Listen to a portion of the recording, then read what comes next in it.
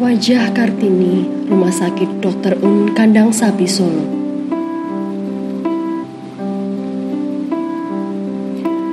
Gerakan tangan dan kaki seturut dengan irama hati.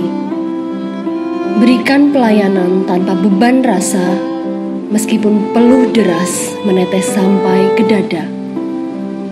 Serbuan pandemi merampas senyum ibu pertiwi Kegusaran hati terus mengiringi tanpa tahu pasti kapan semua ini akan berhenti.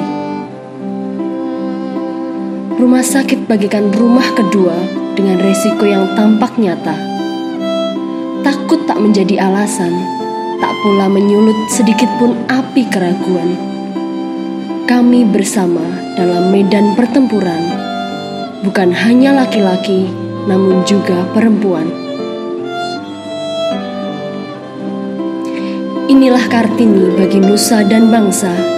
Bukan lagi kata saya, yang ada adalah kita bersama. Menebarkan harapan dalam balutan doa, memperjuangkan senyuman untuk Indonesia. Bersama kita mempersiapkan diri untuk terus melayani dengan sepenuh hati, karena Kartini telah percaya dengan tenang, kelak habis gelap terbitlah terang.